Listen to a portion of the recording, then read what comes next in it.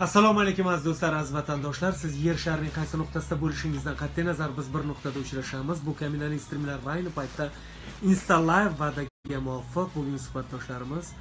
Asli buxorolik bo'lgan bu yigitlar poytaxt azimda shu qadar yaxshi ijod qilishdiki ularning ovozini bugun mintaqada yaxshi tanishadi. Ularning qo'shiqlarini bugun rossiyada sevib tinglashadi va dunyoning turli nuqtalarida o'z muxlislarini topishga ulgurishdi.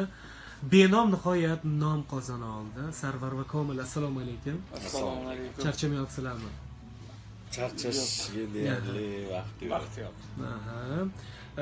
Demak ayni paytda soatimiz nechi bo'ldi? Ayni paytda soatimiz o'n bir. Qarang demak biz haliyam kuzning oxirgi kunidamiz. Demak bizda e, bir soatcha vaqtimiz bor va undan so'ng qishning birinchi kuniga o'tamiz.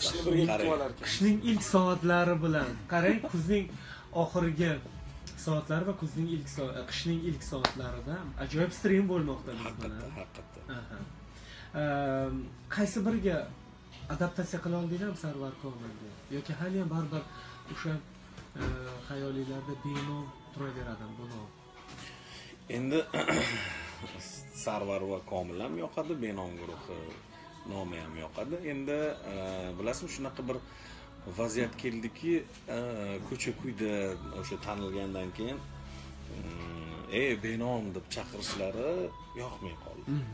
Shuning uchun o'zimizni nomimizni tanitishga harakat qildik. E, muxlislarimiz qay birimiz sarvar qay birimiz komilligini umuman guruhni e, vakillarini oti qanaqaligini tanitishni maqsad qilib sarvar va komil deb qo'ydik. Sarvar va komil nimalardan voz kechishdi shu paytga qadar? Mana shou biznesda uzoq yillardan berisizlar lekin oxirgi yillarda ijodiylarga bo'lgan qiziqish kuchaydi. Va bilasizlar baribir inson o'zini charxlab borishi kerakda. Albatta albatta. Endi voz kechganimiz bilasizmi shunaqa narsa bo'ldiki o'sha ijodimizni boshlagan paytimizda hali shijoat bilan haligi kliplar qilib e, o'sha musiqalar taqdim etilganida. E, endi xabaringiz bor biz bu e, aynan benom guruhidan tashqari bastakorlik bilan shug'ullanamiz. Aynan mana shu bastakorlik e, bilan shug'ullanganligimiz uchun ham qaydir e, o'sha paytlarda e, shunaqa vaziyatga duch keldikki aynan benom guruhini chetga surib qo'yib bastakorlik bilan mashg'ul e, mashg'ul bo'lgan paytimiz bo'ldi. O'shanda benom guruhidan voz kechgandek bo'ldik.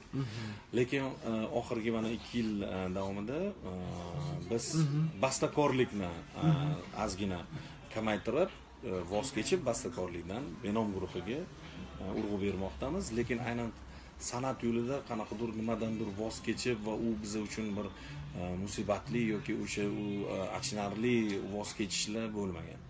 Komil har doim kam gap endi qachon ko'p gapira boshladi? Sarvar bo'lmagan payt bo'lsa tushunarli. Va demak tushunib yetdinglarki hayot doim insonni sinab boradi. Albatta sinab boradi. Do'stlar yo'qotamiz dushman orttiramiz. Gapirmang juda ayniqsa shou biznes sohasida. E, dushmanga qanday tasnif berasiz? Umuman dushman sizningcha u kim endi bilasizmi dushmanni hamcha tushunishga harakat qilish kerak. Chunki e, kimdir kimgadir e, shunchaki dushman bo'lib qolishi bu mumkin emas holat. To'g'ri. baribir o'sha narsaga nimadir yoki qandaydir vaziyat sababchi bo'ladi. Mana misol uchun kimdir sizni kelib so'ksa uni ham bir o'zini haqiqati bor uni ham bir o'ziga yarasha e, nima deydi majbur qilgan narsa bor deylik o'zini. Haqiqati bor yoki tap tayyor jinni bo'lishi mumkin. Ikki xil.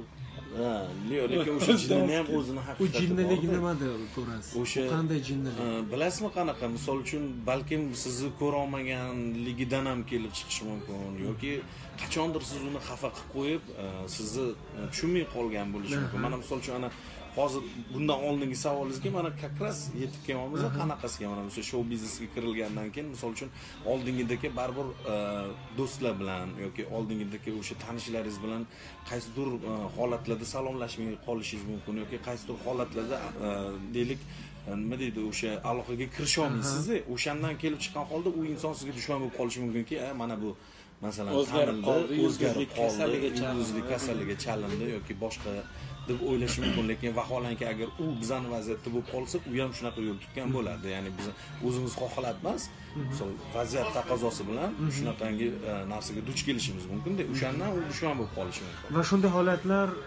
bo'ldi bo'lib turadi. Hayot bo'lib turadi. nafaqat bizada hamma ha. san'atkorlarda manimcha masalan oddiy muxlis ham ana man yaqinda o'sha hind kinosini ko'rdik. E, shohruxxon e, ijrosida o'sha muxlis degan kino juda yaxshi mavzuni ko'tarishgan olib chiqishgan. O'sha mavzu bizga juda ham yoqdi o'sha hayotimizdan kelib chiqqan holda. Biz o'sha o'zimizda hayotimizda duch keladigan narsalarimizga duch keldik. O'sha uchun e, kimda kim o'sha san'atkorni tushunishni xohlasa o'sha kinoni ko'rishni tavsiya qilgan bo'lardim. Chunki juda ham ko'p vaziyat. Mana oddiy muxlis sizga masalan dushman bo'lib qolishi mumkin sizni tanimaydi. Masalan siz e, shunaqa vaziyatdasiz kelib rasm tushaylik deydi siz rasm tusha olmaysiz va dushman bo'lib qoladi. Mhm. Demak safimiz kengaymoqda. Demak e, nafaqat sarvar komil bilan suhbatlashamiz. E, ularning prodyuseri va mashhur radio boshlovchi otaxon radio boshlovchi desak ham bo'ladi. E, umuman suxandonlik radio suxandonlik borasida bobo desak ham bo'ladi sizni jamshid hojiniyozov ham biz bilan assalomu alaykum jamshid aka. Assalomu alaykum charchamayapsizmi rahmat assalomu alaykum. Hozir sizni ilk tanigan paytlarim sochlaringiz ko'p bo'lardida endi vaqt o'tgan sari nafaqat yillar balki sochlar ham tark etar ekan ba'zi bir insonlarni lekin ajin yo'q sizda. ko'p kulaman chunki. Ko'p kulasiz.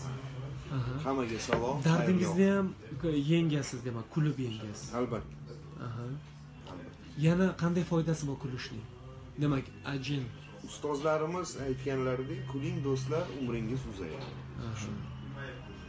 Umrim uzayadi deb o'ylaysiz ko'p albatta. Bittasi ham bor edi ko'p kulib kulib tez o'lib ketdi. Bunday odamlar ham bor bu ham taqdir ishlari bo'lishi endi mumkin. bu Alloh ishlari shuning uchun e, biza faqat niyat qilishimiz kerak. Allohdan so'raymiz niyat qilamiz shu niyatimizga yarasha qilgan ishlarimizga yarasha mukofot olamiz yoki jazo olamiz safimiz kengaydi safimizda e, demak kliplar orqali tanilayotgan chehra bor. E, demak ularni tanishtirsangiz yaxshiroq bo'ladi. Komil? Bularning ismlari e, dinara familiyalari dinara assalomu alaykum. Charchamayapsizmi? Demak tashrif uchun rahmat chunki vaqt allamahal bo'lishiga qaramasdan muxlislar uchun tashrif buyurdingiz ayni paytda nechta klipda suratga tushdingiz qanaqa qilib sanadingiz nahot bilmaysiz demak judayam ko'p klipda tushgansiz yoki hozir aytgingiz kelmayapti. А, она говорит, я могу на русском говорить? E, o'zbek tilini bilmaysiz bilaman просто ruschada Mhm. mayli harakat qiling вот я не считала сколько у меня клипов в общей сложности Громче. слышно но я не знаю честное количество. Не считала ishlar нет sevimli aktrisangiz kim kimga taqlid qilasiz sevimli aktrisam u ham yo'q yulduz rajabova a yulduz rajabova yulduz rajabovaning qaysi jihatlari sizda bo'lishini xohlardingiz скромность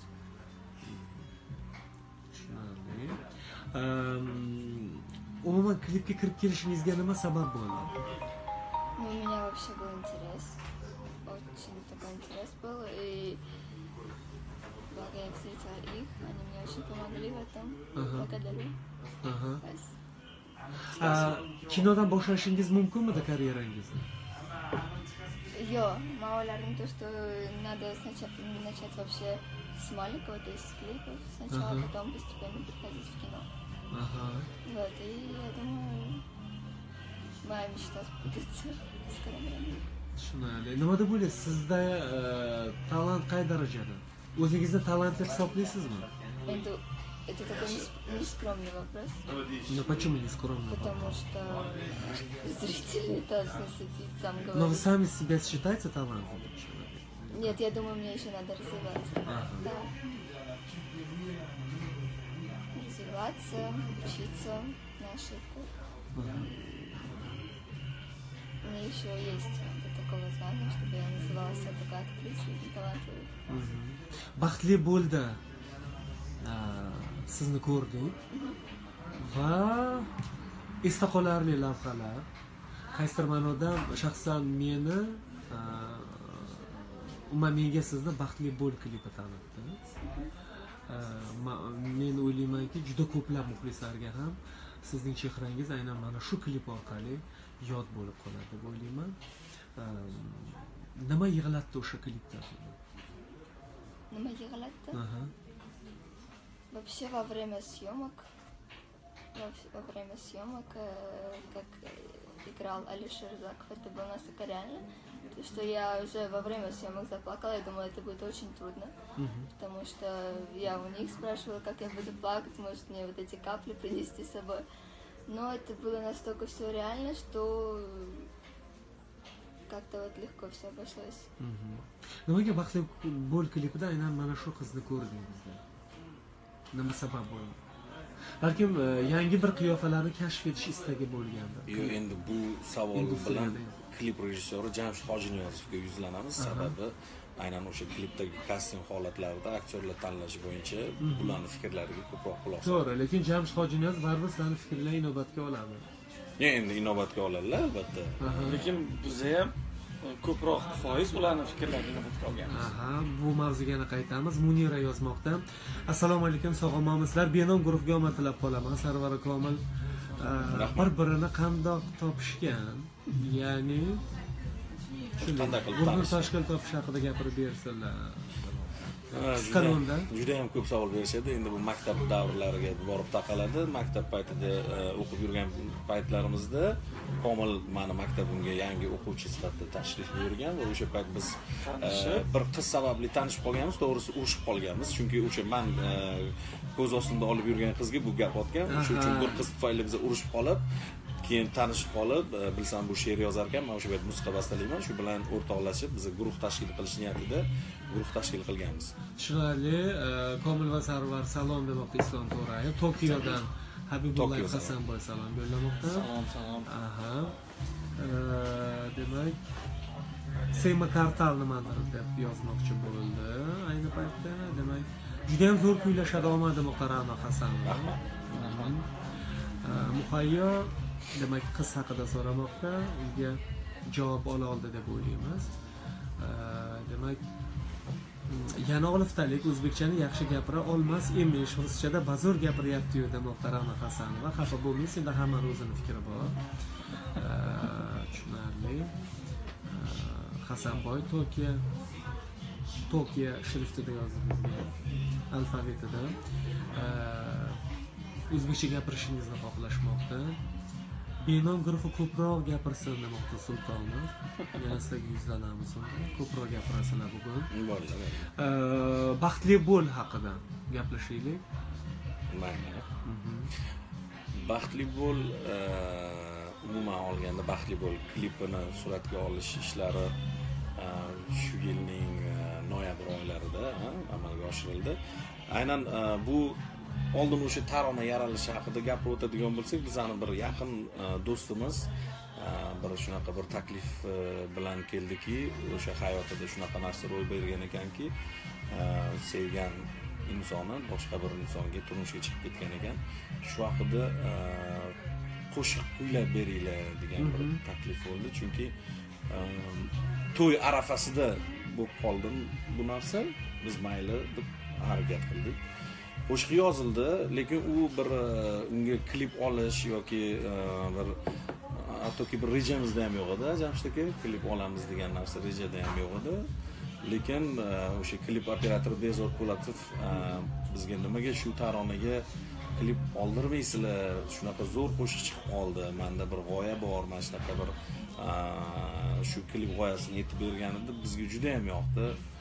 Guruh bilan e, shunaqangi bir qarorga keldikki kelinglar mana shu taronaga klip ham suratga oldiraylik e, chunki aynan bu g'oya bilan e, mana xabaringiz bor biz o'sha bundan oldingi o'sha strimlarda ham aytganmiz muxlislarimiz bizga yozgan xatlardan kelib chiqqan holda qo'shiq mavzularini tanlaymiz.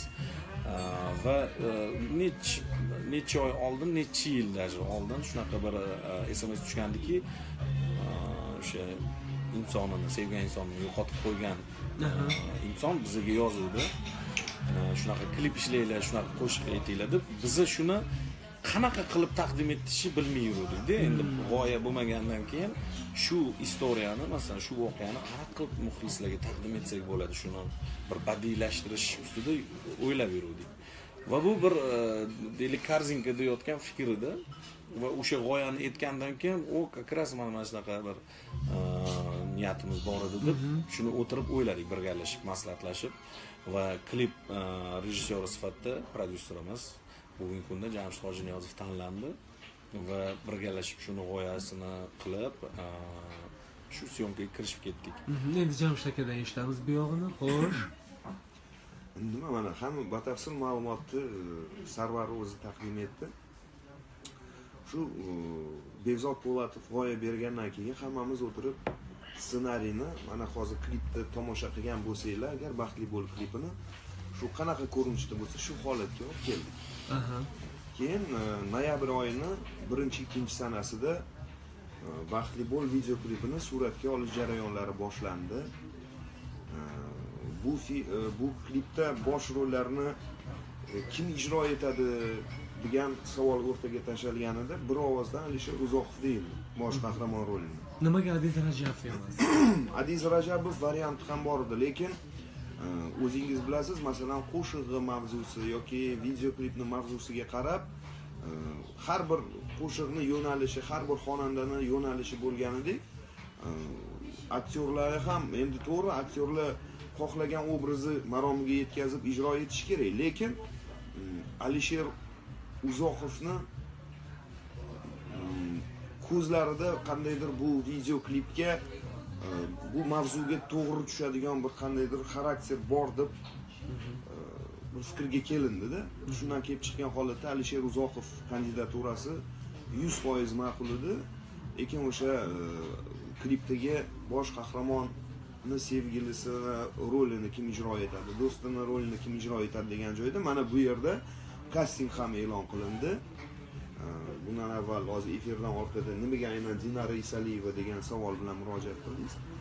Kasting e'lon qilindi lekin afsuski kasting e, bo'yicha yuborilgan e, shu nima deydi kastingda qatnashgan ishtirokchilarni nomzodlar nomzodlarni orasida e, bu videoklipga yuz foiz to'g'ri keladigan nomzodlar ming afsuski kashf qilinmadi shu sababli endi bor nomzodlardan e, masalan ishlab ko'rgan e, masalan ekranda ko'ringan yosh aktrisalardan e, biz izlashni boshladik va bir ovozdan guruhimiz bilan birgalikda shu dinara isaliyeva endi dinara isaliyeva hech kim uchun sir emas birinchi ijodlarini aynan benom guruhini kliplaridan boshlaganlar.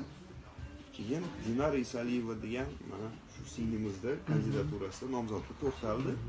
Keyin o'sha mango guruhi bayon guruhi ijodkori e, oybek do'sti sifatida shu bosh qahramon do'st sifatida ularni ham nomzodi tasdiqlandi. Dinaraning o'rnida yulduz rajabova bo'lishi mumkinmi? Mana dinaraning favorite e, aktrisasi ekan. Bilasizmi u dinarani o'rnida e, xohlagan aktrisa bo'lishi mumkin edi. Aktrisalar masalan rolga kirishib ijro etib berishadi bu degani bitta aktrisa ijro etib bera olmaydi yoki bunisi ijro etib bera oladi degani emas lekin u yoqda yosh jihatidan ko'rinish jihatidan e, klipi stilistikasiga to'g'ri keladigan ko'rinish ham bo'lishi kerak edi. Shundan kelib chiqqan holatda dinara isaliyeva tanlandi dinaraning kelajagiga ishonch bildira olasizmi? Albatta. man mashhur aktrisalardan biriga aylanishi mumkin. Bilasizmi? Man nafaqat dinara man ijodini boshlagan hamma ijodkorni kelajagiga ishonch bildira olaman. Bugungi kundan kelib chiqqan holat. Ertaga nima bo'lishini men ham bilmayman o'zim bilan hatto. Lekin o'sha bugungi kundagi qilayotgan ijodini ko'rib man ishonch bildira olaman ertangi kuniga lekin ertangi kunida ijodi qanaqa bo'ladi bu o'sha aktyor yoki aktrisani o'ziga bog'liqda. Agarda o'zini ustida ishlasa Aha. yuksalishga harakat qilsa albatta yuksalishga harakat qilgan o'z ustida ishlagan har bir ijodkorni kelajagi bor. Tushunarli. Demak e, habibullayev yozmoqda benom guruhi nega ijoddan to'xtab qolyapti? Oldingidek ishtiyoq bilan ijod qilmayapti demoqda. O'sha boya shu savolga javob bilan yuzlandik. Chunki e, biz e, ma'lum bir vaqtda e, bastakorlik bilan shug'ullangan e, qizg'in shug'ullangan paytimizda o'zimiz bilmagan holda e, judayam juda ko'p qo'shiqlarga shartnoma tuzib qo'yganmiz san'atkorlarimiz bilan. O'sha taniqli san'atkorlarimizdan tortib endi ijodini boshlayotgan san'atkorlar bilan hamkorlik qilganmiz. Shuning uchun benom guruhiga vaqt yetishmagandek bo'lib qoldi. Chunki endi bilasizmi bu shartnoma tuzilgandan keyin unga mas'uliyatli bo'lish kerak. Misol uchun ha deb benom guruhiga e'tibor qaratib san'atkorlarimizni norizo qilish ham to'g'ri kelmasdi. Shuning uchun ozgincha payt majbur bo'lib qoldik ijoddan to'xtab qolishga lekin bundan buyog'i ijod mahsullarimizni tez tez taqdim etamiz degan yo'q ijod to'xtamaydi. Tushunarli sarvar va komil nima deb o'ylaysiz? Nimaga so'nggi paytda yaratilayotgan qo'shiqlarning umri qisqa? Bir haftalik qo'shiqlar bor hatto bir kunlik qo'shiqlar bor bir oylik qo'shiqlar bor bir yil yetayotgan qo'shiq yo'q. Hozir jamshid aka bilan bu haqida ham yana gaplashamiz. Mani shaxsiy fikrim bor bu borada. Nimaga? Sababi e, san'atkorlarni soni ko'paydi. Aha. Juda yam ko'p qo'shiqlarni nisbatan soni yam qo'shiqlar bir birini bosib qo'yyapti demoqchisizlar. Ha chunki bilasiz mana o'tgan e, man o'zim shuni bir o'zimiz o'tirib guruh bilan analiz qilganmiz o'sha saksoninchi yillarda to'qsoninchi yillarda san'atkorlar deyarli kam bo'lgan. Ya'ni yo'q ko'p bo'lgan. Lekin taniqlilari kam bo'lgan. aynan Yo'q, ko'p bo'lgan. qaysi ma'noda? Hozir ham bunaqa ham. ko'p. Masalan dejur e, sostavlar bor san'atkor to'y o'tkazadigan san'atkorlar bor haqiqiy professional tarzda estrada bilan shug'ullanadiganlar. Man hozir ko'p deb nimaga aytdim? Chunki shu fikrda aynan bir e, yoshi ulug' san'atkor bilan bahslashganimizda u inson menga aytib qoldiki yo'q nimaga o'sha paytdan san'atkorlar ko'p edi. Hop kim edi deb man savol bilan yuzlansam mana mana bu to'ylar o'tkazadigan san'atkorlar ko'p edi deyaptida man endi o'shani e, Hisobga olib. ko'p edi lekin professional tarzda aynan o'sha televideniya o'sha respublika miqyosidagi televideniya ya'ni davlat televideniyalaridan chiqadigan san'atkorlar kam edi. E, yoki o'sha radiolarda aylanadigan san'atkorlar kam edi. Shuning uchun e, nima deydi spros yo'qligidan ya'ni tovar yo'qligidan mani bu shaxsiy fikrim albatta muxlislar faqatgina o'sha bir xil qo'shiq eshitib o'sha qo'shiqlar zo'r deb tuyulgandek lekin hozir misol uchun zamonaviy yoshlarimiz yoki biz tengi yoshlar o'sha qo'shiqlarni eshitsa balkim bizga u yoqmasligi mumkin misol uchun mana o'sha keyingi paytda fikrlar ko'paymoqdaki bachkana qo'shiqlar yozilmoqda lekin o'sha paytdan o'sha qo'shiqlarimizni analiz qilganmiz judayam bachkana lekin hozirgi paytda klassik qo'shiq darajasida ko'tarishadi. Man endi u qo'shiq qaysiligini aytmayman intervyudan keyin o'zizga aytaman. Haqiqatda shu fikrga to'g'ri deb baholashingiz mumkin. O'sha uchun e, hozirgi paytda internet rivojlangan payt. E, qo'shiqlar soni juda yam ko'p san'atkorlar juda yam ko'p. Shuning uchun e, e, o'sha qo'shiqlar bir biriga xalaqit berayotgandek mani nazarimda. Siz nima deb o'ylaysiz? Xuddi shu fikrda qo'shilaman chunki bilasizmi mana hozir e, yosh ijodkorlar e, misol oldinlari studiya degan e, bir deylik bino deylik. qanaqangidir qanaqangidir недостигаемый ya'ni ya. o'sha unga yetish uchun yillar davomida mablag' to'plab o'sha professional darajada studiyada ishlash uchun juda yam ko'p mashaqqatdan o'tishingiz kerak edida A, bugungi kunda xohlagan inson uyida kompyuter olib o'sha programmalarni o'rnatib studiya qilib olishi mumkin. va o'sha studiya e, talablarga javob beradigan darajada ham bo'lishi mumkin. Lekin o'sha hozirgi kunda yosh e, qiziqadigan deylik yoshlarimiz bu sohaga uyda ashula qilib e, masalan taqdim qilib internetlarga chiqarilgandan keyin uni xalq voy bu professional ekan bu endi yozyapti bu uyda yozibdi degan tushunchaga ega emasda o'sha uchun e, ko'rib mana hozirgi oxirgi paytda bachkalarni bachkanalashdi yoki qo'shiqlar ko'paydi mana bir biri umri qisqa degan fikrlar bo'lmoqda. Lekin man sizni ishontirib bir narsani aytishim mumkin e, bugungi kunda ham klassik darajasida qachondir klassik darajada yetadigan qo'shiqlar bor. Hmm. Mana hozir uchun misol uchun man e, aytishim mumkin e, o'sha o'sha paytdagi san'atkorlar ham baribir zamondan kelib chiqqan holda ijod qilgan. Misol uchun mana hammamiz uchun sevimli bo'lgan guruh yalla guruhini olsangiz ham o'sha paytda zamonaviy saunddan zamonaviy ijrodan foydalanishgan o'sha paytda insonlar bo'lganki "E, bu qanaqa ashula deb qaralgan insonlar ham bo'lgan man buni eshitganmanda endi qisqa o'sha tor doiradagi san'atkorlar o'sha atrofida shu suhbatlar bo'lganki ular ham o'sha payt zamonaviy ijoddan e, o'sha foydalanilgan. Hozirgi paytda kelib endi bu klassika. Misol uchun bizani o'sha qilayotgan mehnatlarimiz man hozir aynan benom guruhini qo'shig'i demayman chunki biz ko'p san'atkorlar bilan ishlaymiz o'sha ko'zga ko'ringan san'atkorlarimiz o'sha topvoy san'atkorlarimiz qo'shiqlari qachondir kelib klassik daraja bo'ladi. Chunki o'sha qo'shiq bilan birga o'sib kelgan avlod bo'ladi o'sha avlod uchun bu qo'shiq klassika bo'ladi. Masalan u mana o'sha hozirgi paytda klassik deymiz chunki u avlod o'sha qo'shiq bilan o'sgan ya'ni o'sha qo'shiq bilan voyaga yetgan o'sha qo'shiq bilan e, deylik e, взрослый bo'ldida endi masalan ellik yoshga ha, ulg'aydi u uchun o'sha qo'shiq klassika bo'ldi. Xuddi shunaqa bizni avloddan o'sib kelganda biz yozgan qo'shiqlarni klassika deyishi mumkin. Dinara qaysi qo'shiqlarni hit deb hisoblaysiz mana oxirgi paytda yaratilgan? Oxirgi естественно деспасито despacito. Да Aha, yana xorijda xayolingiz o'zbek shou biznesdan o'zbek shou biznesda baxtli bo'l baxtli bo'l chunki unda siz suratga tushgansiz yo'q undan oldin ham lekin e, bir instagram tarmog'ida man ko'zim tushib qoluvdi. Aynan shu qizimiz e, haligi istoriya bo'ladiyu instagramda shu qo'shiqni e, kuylab qo'yganlariga bir ko'zim tushuvdi. Aynan shu lekin lekin bu holat bu klipga bu inson tanlanganiga sabab emas. Mhm. yana qaysi qo'shiqlarni hit deb bilasiz dinara o'zbekistonda. Aha, oxirgi yaratilgan qo'shiqlarni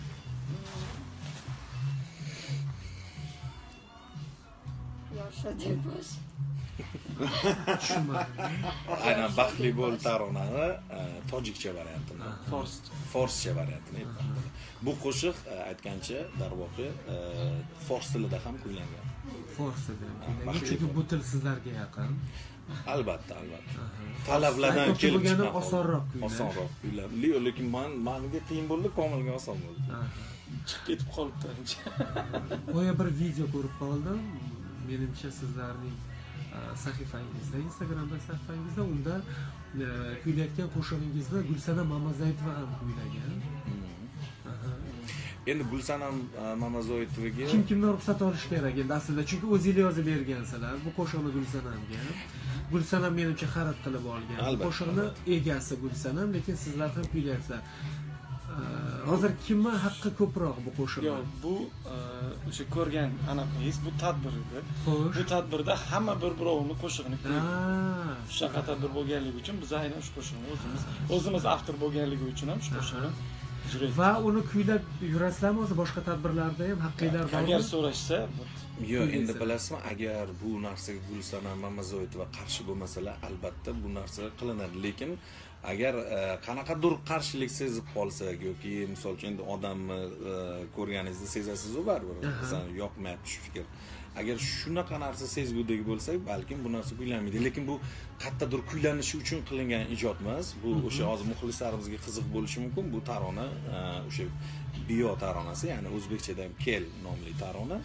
Bu qo'shiqni muallifi o'zimiz lekin mana xorijda ham butun dunyo bo'yicha qo'shiq egasi muallif hisoblanadi.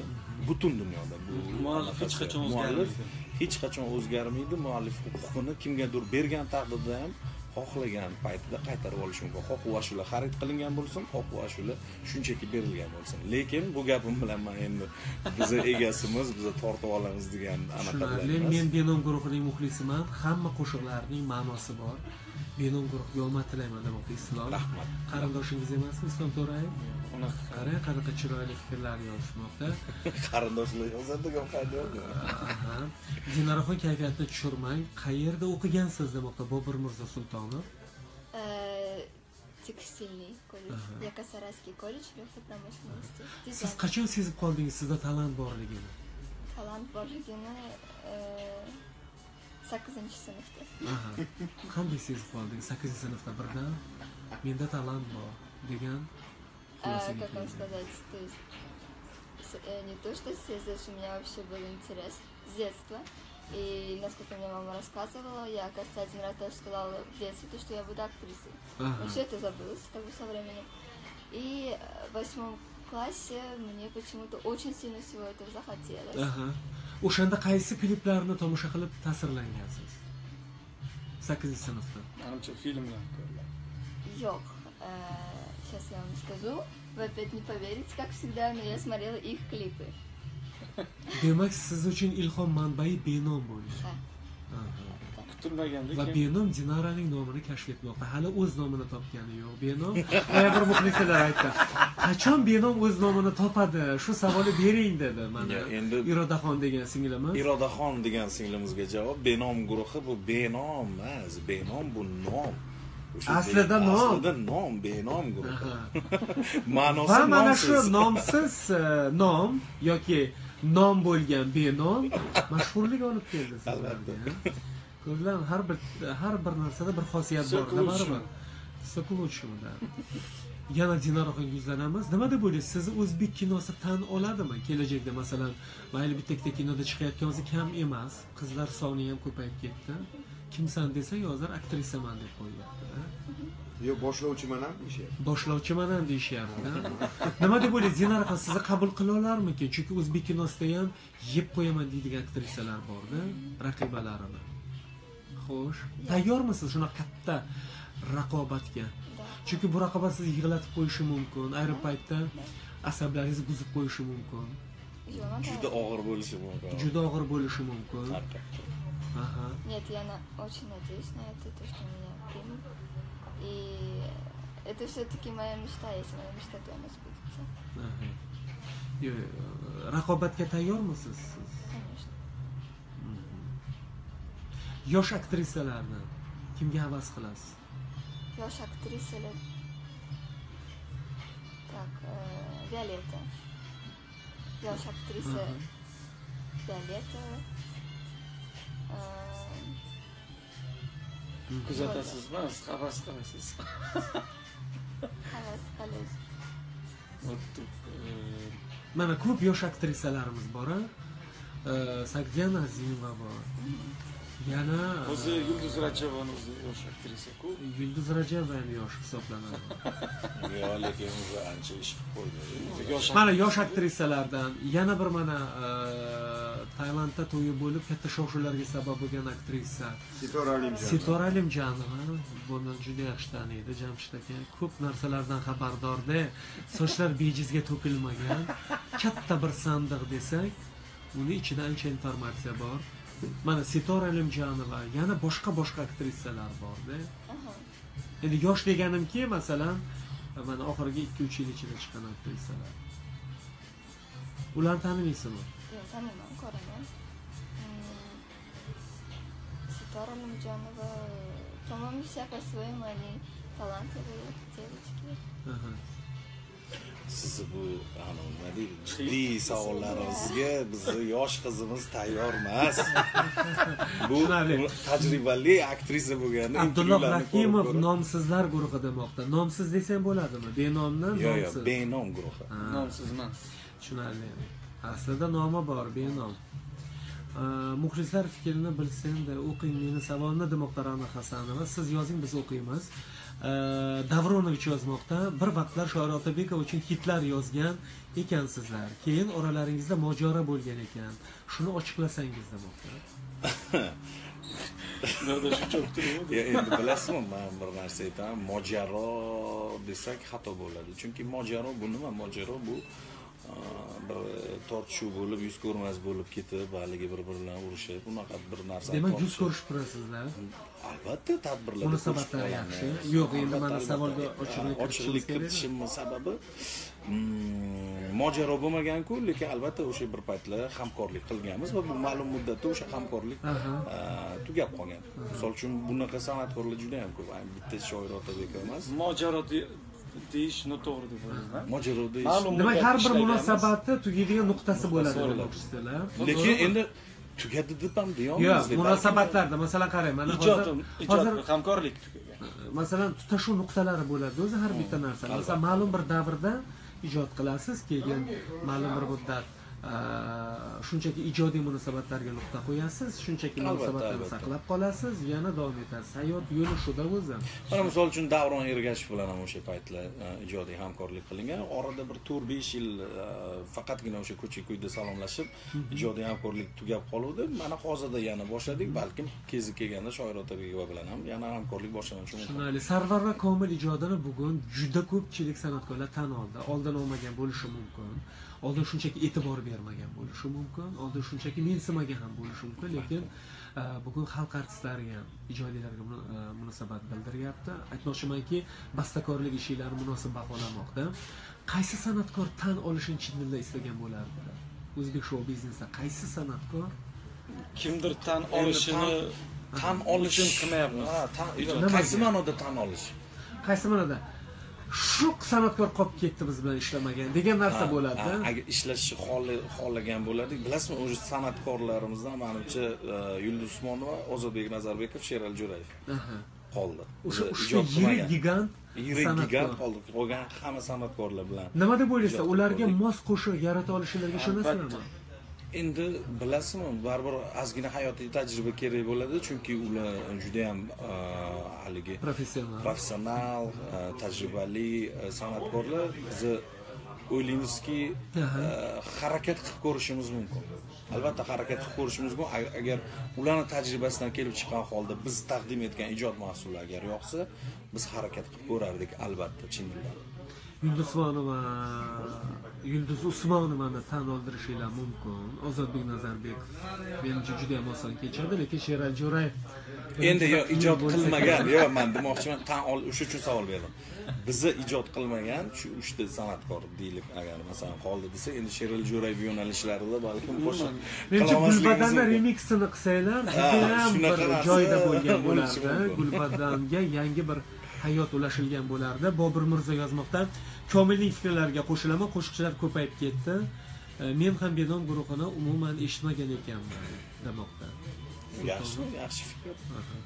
Yoki sizning fikringizni sizni mani deb fikrimga komil deb.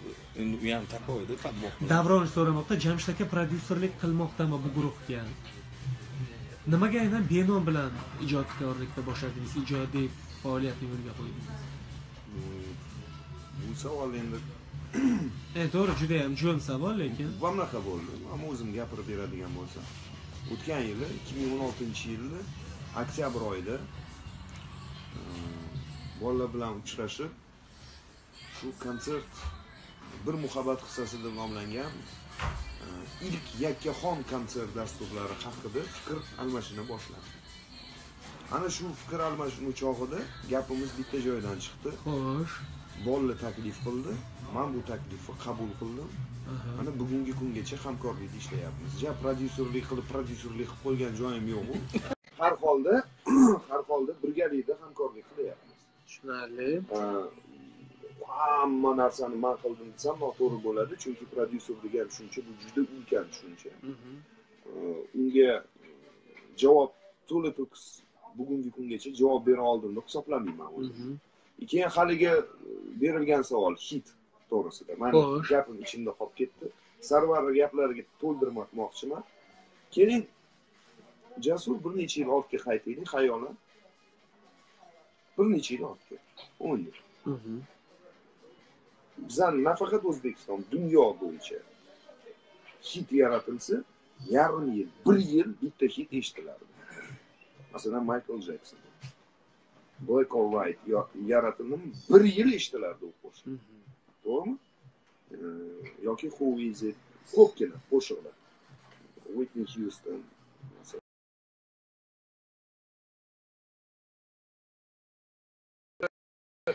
dunyo miqyosida ham hit taronalar umri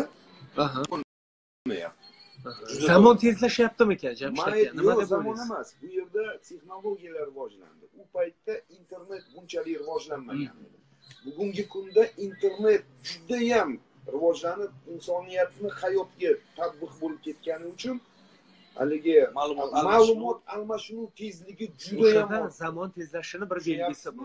Ma'lumot almashinuv tezligi judayam oshdi. Masalan avval hit chiqib diskda butun dunyoga sotuvga chiqib u diskda eshitilib yurilgan bo'lsa bugungi kunda disk chiqishdan avval internetga chiqilyapti youtubega klipi joylashtirilyapti. Butun dunyo bir haftada u qo'shiqga to'y bo'lyapti. U qo'shig'i hit bo'lganini ko'rib sakkiz yuz ellikta qo'shiqchi despasitoga o'xshagan besh yuz ellikta despasito qo'shig'ini chiqaryapti. Va uni o'zini muxlislari topilyapti va hamma bir yoqadan boshqani faqat despasitoni eshitmayapti sakkiz yuz ellikta despozito ashulasini yetti milliard aholi ajralib mayda mayda mayda qabilachalar bo'lib hamma o'zini dispozitosini eshitib yuribdi. Shundan kelib chiqqan holatda bitta global hit yo'q.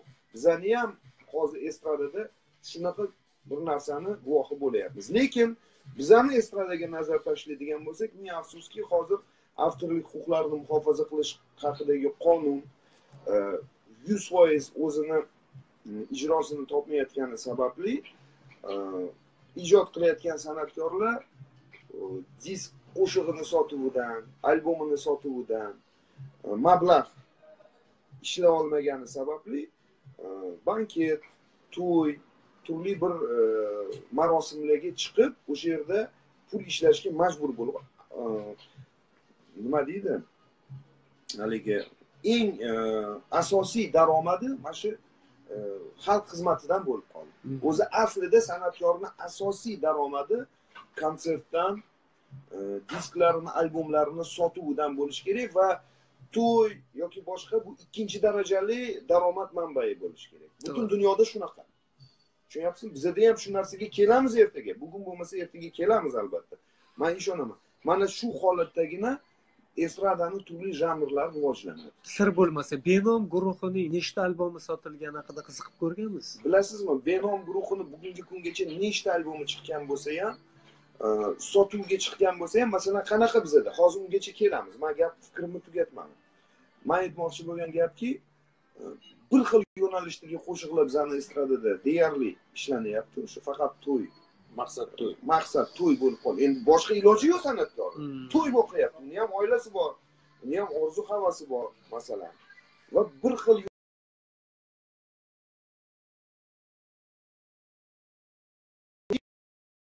bizani san'atkorlar bundan boshqacha qo'shiqlar yaratishga qobiliyati yo'q yoki imkoniyati yo'q? Yo'q. Imkoniyat bor. Qobiliyat ham yetarli. Bastakorlarimizda ham qo'shiqchilarimizda ham. Lekin ming afsuski daromad manbai o'zgarmagani sababli ular daromad topishga majbur e, yo'nalishda ijod qilishga majbur bo'lib qolishgan. Lekin bugun bo'lmasa ertaga bari yaxshi kunlar keladi. Ya'ni o'sha daromad manbai o'zgaradi baribir. Chunki zamon bir joyda turmaydi rivojlanish ketyapti. Ayniqsa hozir bugungi kun bilan ertangi kunni orasida bugun uyg'onsangiz ertaga o'n qadam oldindasiz Hmm. man yaxshi kunlarga ishonaman o'sha kunlar kelishiga ishonaman. Bugun ham yaxshi balkim Endi- men nazarimda disklar sotilishi umuman urfdan qoladi. Yo'q yo'q yo'q disk sotuvi chunki virtual e, mana shu yangiliklar davri virtual sotuv ham mana bizada nima bo'lyapti? Men o'shani aytmoqchiman.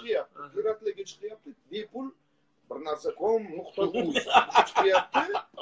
Piratlar bemalol ijod qilyapti. Chet elda unaqa keyin e, madaniyat ham bo'lishi kerakda masalan aholi muxlislar tushunib yetishi kerak.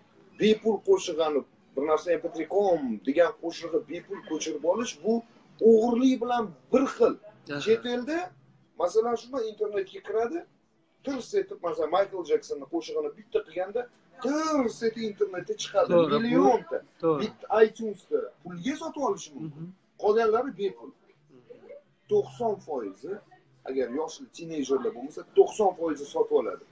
Bir dollar sarf qilib sotib oladi. Chunki biladiki man bilani qilsa o'sha birovi haqqini yeganday bo'ladi. Ya'ni o'sha muallifni haqqini buzyapti Hmm. huquqini buzyapti man sotib olaman deydi. Ya'ni bu birov cho'mchakdan pul olgandek narsada pirat diskini sotib olish yoki pirat disk chiqarish yoki pirat qo'shig'i chiqarish. Tushunyapsizmi? Bu narsaga ongan yetib kelish kerakda ongan inson. Ichki madaniyatni ichki e, demak vijdonni avvalambor albatta. Shakllantirishimiz mana shu narsa piratlar yo'q bo'lib hammasi rasmiy ravishda qo'shiqlar sotuvi bu endi sotuv degani yigirma ming o'ttiz ming bo'lmaydi bu qanaqadir bir toma toma qo'l bo'ladigan narsa bo'ladi. Tushunyapsizmi? Ana o'shanda ko'rasiz o'zgarishini. Turli Hmm. janrlar kelib chiqadi. Faqat tuppata tuqqan tuppata tuqqan bo'lmaydi. Janrlar pop rok rep funk hamma janrlar rivojlanadi Na. ana o'shanda estradamiz yana keyingi pog'onaga o'zi o'rta osiyoda bizani estradaga yetadigani yo'q. Hozir ham shu holatida ham. Yanada ko'tarilamiz. San'atkorlarimiz o'zini maksimal ijodini maksimal salohiyatini ko'rsata oladi o'shanda. Tushunyapsizmi? Shuning uchun muxlislardan iltimos qilardim. Hozirgi yaratilayotgan qo'shiqlarga qarab bastakorlarga yoki xonandalarni mavqei yoki imkoniyatiga salbiy baho berib qo'yishmasin. Chunki bu faqat davr talabi. Keyin qo'shiqlarni bachkana deyishadi boshqa narsa u bu. O'sha bachkana qo'shiq kuylayotganlarni o'zlari chaqirishyaptiku o'zlari konsertiga e, yuz ming ikki yuz ming uch yuz ming so'mdan biletni sotib olib borib birinchi qatorda qarsak chalib o'tirishibdi masalan keyin yana bachkana deb yozishadi. Azar hojiniyazni yana alohida biz streamga taklif qilamiz chunki fikrlaringiz butun. Va siz bilan gaplashadigan gaplarimiz juda yam ko'p jamshid aka bugungi mavzu benom guruhi. Benom guruhi man uchun man avvalam bilardim bularni lekin mana endi bir jamoa bo'lib ishlaganimdan keyin man o'zim uchun nafaqat ijodiy salohiyatini bu yigitlarni insoniy ichki dunyosini. Man bir so'z bilan aytishim mumkin ming afsuski bugungi kunda bunaqa insonlar kamdir oramizda lekin bunaqa ijodkorlarni man kam uchratganman mana qirq ikkiga kirgan bo'lsam kam uchratganman haqiqatdan ham. mana haqiqatdan Tushunasizmi? haqiqatdan ham kam uchratganman qo'shig'i yozadi she'ri yozadi jonli kuylaydi demak jamshid hojiniyazga yaxshi gonorar to'laysizlar Yeah. Shuncha gap so'zlar gap so'zlardan gap so'zlardan ma'lumki yaxshi gonorar yo'q, bilasizmi bizda nima bunaqa narsa bo'ldi. Endi oldindan ham o'sha jamshid hojiniyozovni prodyuser sifatida o'sha abduvali rajabov e, davrlaridan beri tanirdik va orzuyimiz bo'lardiki shu inson bilan ishlab ko'rish shu inson bilan qaniydi ishlaylik degan niyatli bo'lardi Mhm. endi. demak hojiniyazni uzoq yillardan beri taniysizlar Ham boshlovchi sifatida, ham prodyuser sifatida. chunki bilardik abduvali rajabov prodyuserligini keyin va oxirgi- haqiqatdan abduraja abduvali rajabovning ijodiy yuksalishida bu insonni xizmati katta tan olishsa olishmasa ayrim paytda olishmaydiganlar ham olmaydiganlar ham bo'ladi tan olmaydiganlar. Lekin shu o'rinda aytishimiz kerakki men bularning e, ijodiy hamkorligiga shaxsan guvoh bo'lganman. Abduvali rajabovning e, portlab chiqishida bu insonni xizmati juda yam katta. Benom guruhi uchun eng yaxshi guruh ummon yoki mango demoqda behruz Sayf- sayfullayev endi ikkovligini ham hozir xafa qilib qolamiz. Lekin ijod taraflama tan olish kerak baribir ummon guruhini aytamiz. Sababi mango guruhi o'z ijodini oxirgi payt taqdim etib berolmayapti. Qo'shiqlar jihatdan ham ijod jihatdan ham o'sha ijod ko'p e, bo'lganligi uchun manimcha ummon guruhi desak to'g'riroq dinara siz nima deb o'ylaysiz? Sizga ko'proq kim yoqadi ummon yoki mango ummon yoqadi. Rayhonga bir qancha kitlar yozib berdingizlar? Omadli. Nega ijod to'xtadi demoqda davronovich bilmadim. Buni sababini rayhondan so'rash kerak man bilmadim. Lekin to'xtagani yo'q. Ja unaqa to'xtadi desak ham xato bo'ladi. Oxirgi payt o'sha boya aytganimdek faqat benom guruhi bilan mashg'ul bo'lib qoldik. Ya'ni bastakorlik bilan emas o'sha balkim shu sabab bo'lishi mumkin lekin buni hali o'ylab ko'rmadik. Demak o'zlaringiz haqingizda ko'proq qayg'urish niyati tug'ildi. Niyati tug'ilib qoldi. Lekin bu degani ijod to'xtab qolib oramizda mojaro bo'ldi degani emas chunki hozir yana xayolga ketishlari tushunarli sen baxtli bo'l to'rt qator aytib berishsin demoqda islom to'rayev. Aha. efir oxirida. Oxiridami? Nimaga? efir oxirida. Hozir anaqa bo'lib qoladi. Savollarga keyin baxtli bo'l javob berib keyin bitta o'sha savolga anaqa to'ldirib ketmoqchi edim. O'sha jamshid aka hozir bizani maqtab ketganlariga har xil har muxlislarimiz har xil boshqacha o'ylab qolishi mumkin. Jamshid akani biza bilan ishlashlariga sabab va biza bilan bitta guruhda bo'lishlariga sabab va biz ularni o'zimiz guruhimizga qo'shishimizga sabab bitta sabab. Ular ham bizaga o'xshab haqiqiy san'atni haqiqiy muxlisi bo'lganliklari Eng jamshid hojiniyozning sochlari bekor to'kilmaganiga aminmisizlar shuning uchun. bular san'atni Patriot. qiladigan inson. O'z o'z sohasida patriot insonda bilasizmi biz o'sha taklif bildirganimizda e, o'ylab ko'raman yoki bir o'sha cho'zildida bu e, protsess. E, lekin biz o'sha ishni boshlaganimizdan keyin fikrlar bir joydan chiqqandan keyin agar man bilganimda voqtliroq ishlagan bo'lardim sizlarni xarakteringlarni yoki shunaqa e, dunyoqarashinglarni bilganimda voqtliroq ishlagan bo'lardim degan fikrlar bo'lgan. Bu hozir e, endi u hamma narsa kadr ortida misol uchun chiqib olib gapirish bu anaqa emas E, lekin bular intervyularda o'sha anaqa ekanlarda yani. Hmm. nimani o'ylasalar shuni gapiradigan. Endi ular bizani yonimizdalar hammasini ko'rib turibdilar ko'rib yuribdilar har doim yonimizda. O'sha uchun balkim gapiryaptilar Hmm, to'ppa to'g'ri iltimos jonli ijroda gulsanamga taqdim etilgan kel taronasini jonli ijroda kuylab bersangizlar demoqda. Maylimi?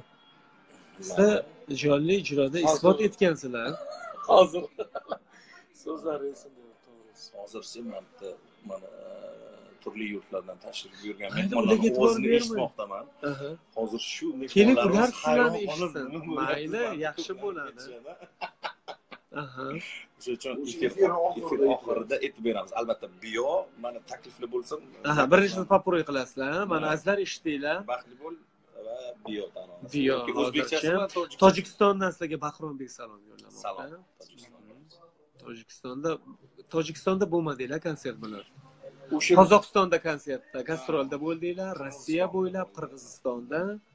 Endi demak- tojikiston bilan muzokaralar olib borilyotgandilar jamshid yo'q yo'q yo'q. Tojikistonda konsertimiz belgilandi. Oktyabr oyiga belgilandi konsertimiz lekin tashkilotchi u yerda ob havo keskin yomonlashgani vaqtliroq sovuq tushdi yomonlashgani sababli bahorga qoldi. Bahorga qoldi. Bahorga qoldi. ikki ming o'n sakkizinchi yili bahor faslida demak tojikistonlik muxlislar diqqatiga bahorda albatta benom yoki sarvar va komil sizlar uchun kuylaydi. Balkim dinarani ham olib borasizlar dinlarani ham kuylatamiz tushunarli. Shuhratbek abdurahmonov so'ramoqda jahongir otajonov ijodiga munosabatinglar jahongir otajonov ijodiga munosabatimiz judayam ijobiy va judayam qiziqarli. Aha botir qodirovnichi uning ijodiga qanday qaraysizlar demoqda esonali haydarov yaxshi. qaraymiz kuzatamiz ha o'zligini yo'li anaqa dunyoqarashi bor san'atkorlar. Mhm. boya kimdir e, yozgan edi men benomni tanimayman deganga ra'no hasanova fikr bildirdi. Qanday qilib benom guruhini eshitmaganman? deb yozyapsizlar. Mening yoshim qirq to'rtda benomni eshitaman rahmat rahmat. Endi strimda ham o'zini ko'rsatish kerak-ku inson. Hmm, tushunarli. Kamoliddin toshmatovdan salom deyishmoqda. Tojikistonda konsert berish niyatingiz bormi? Bunga javob berdik. Demak hmm. tushunarli.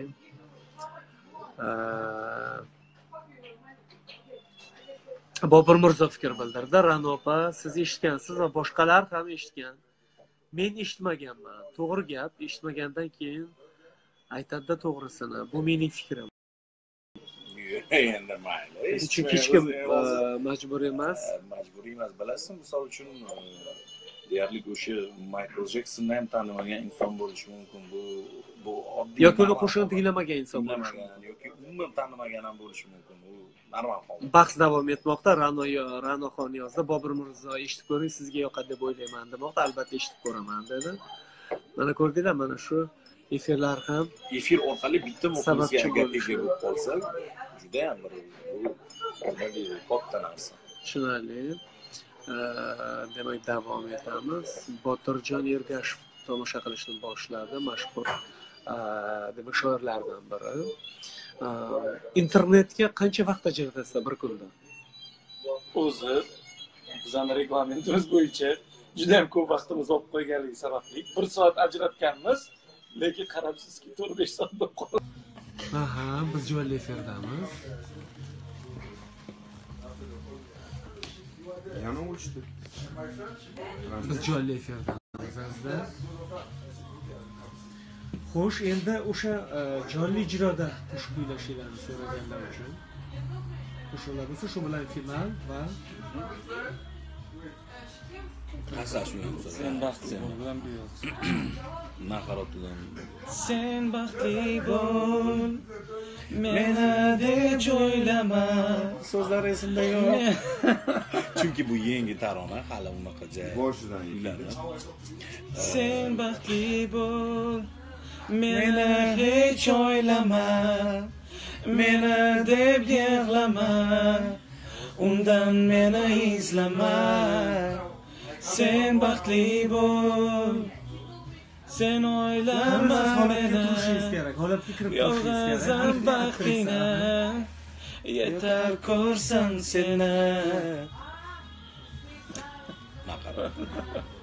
Tushunarli ikkinchi qo'shiq qaysi qo'shiq so'rashgan edi gulsanam mamazoitova qo'shilib umuman hali kecha yozildi studiyada so'zlarini Sen yozgansan. در چشمانت دم عکس دارم بیا گرم دستانت در رویم مونم چی بهترینم یا جونم بمیرم به تو میمیرم esimizda qolgan joyi rahmat azizlar. Bu barcha vatandoshlarimiz uchun eksklyuziv tarzda yo'q o'zicha eng qaltis qo'shiqlarni so'rashdi sababi hammasi свежий deyiladi. Endi yozilgan Fresh.